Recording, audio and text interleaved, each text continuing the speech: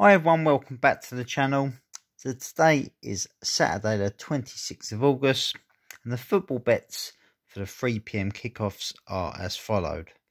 So this is bet number one. This is an eightfold ACCA insurance. It's got two teams here from each of the top four leagues. Starting off in the Premier League, I've gone for Brentford and Everton to win.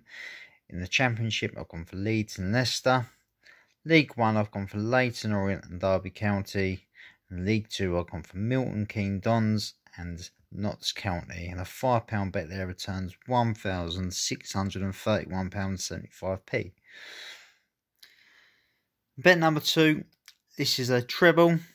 So this is for teams to win and both teams to score.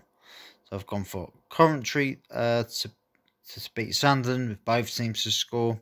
Gone for Derby County to beat Peterborough, both teams to score. I've gone for Stockport County to beat Mansfield, both teams to score. And a £5 bet there returns £562.50p. Now, the last bit I've done, this is actually for Tuesday. This is for the EFL Cup. This is a single. This is something I don't uh, very rarely do.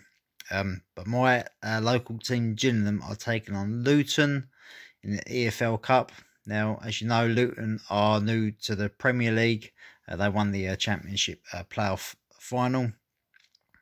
Uh, Gillingham, who played Southampton in the first round, uh, for those that didn't know, Southampton had a £72 million squad out against our half a million pound squad.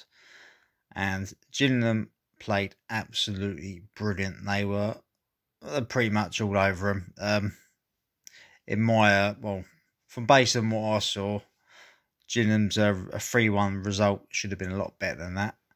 Um, but now I've got a feeling, funny feeling now I'm going to do really well against Luton.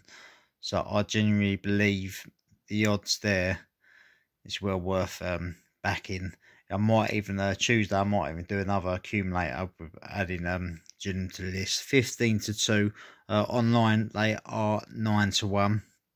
So yeah, online if you do a ten pound bet, you will get a hundred pound back. But um, you know, there's always a upset in the cup, and I do believe that my team have got a good chance of knocking Luton out.